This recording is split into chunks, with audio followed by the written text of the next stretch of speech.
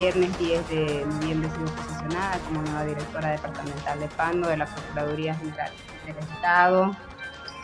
Y, y, bueno, aquí asumiendo el cargo, viendo las instalaciones, el estado en el que se encuentran, los activos fijos, los procesos que tiene la Procuraduría, el, la, el trabajo que vamos a realizar de ahora en adelante, las funciones a desempeñar y continuar con lo que ya había dejado el anterior director y seguir los lineamientos que tenemos desde nuestra Procuraduría General en, en, la ciudad de La Paz. A la fecha, la Dirección Departamental de Pando cuenta con 15 procesos judiciales en intervención, 22 procesos judiciales en seguimiento.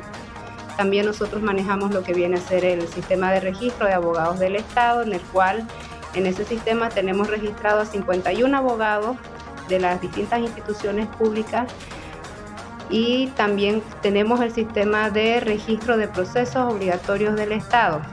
Estos procesos son los que registran los abogados de las instituciones públicas, lo que a la fecha tenemos 31 instituciones públicas registradas que hacen sus registros en nuestro sistema.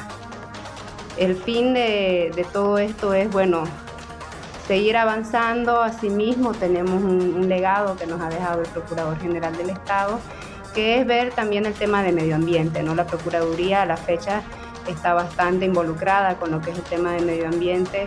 Si bien los procesos los llevamos también procesos judiciales, para ello está cada institución pública, pero también a la vez debemos cuidar nuestro medio ambiente, ¿no? que es una de las facultades también que tiene la Procuraduría General del Estado dentro de sus atribuciones y funciones. Así que con toda la predisposición de, de sacar adelante esta dirección durante mi gestión y bueno, trabajar en coordinación con las distintas instituciones públicas y universidad. También tenemos planeado hacer cursos, capacitaciones, también trabajar de la mano con Andepando, los municipios y las distintas instituciones. Nacida en Cochabamba, nací en Cochabamba el 12 de noviembre de 1984 Llegué a Cobija el 24 de abril de 1900, perdón, el 12 de noviembre de 1989 nací. Y llegué a Cobija el 24 de abril de 1994.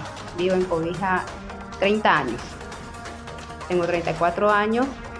Salí profesional de la Universidad Amazónica de Pando. Tengo 10 años de experiencia aquí en la Procuraduría General del Estado yo inicié mis funciones el 12 de diciembre de, del 2012. He trabajado hasta el 30 de junio del 2021 y bueno, con pleno conocimiento, experiencia, esperamos aplicar todo ello y mi dicho es exigirnos más de lo que podemos, ¿no? Así que con toda la predisposición, todo el compromiso en sacar adelante la dirección, llevar en alto el nombre de, Pando ante las oficinas centrales. Asimismo, poner en alto a la mujer pandina, no la profesional pandina, porque créame que si bien soy nacida en Cochabamba, me creo totalmente pandina, me siento pandina.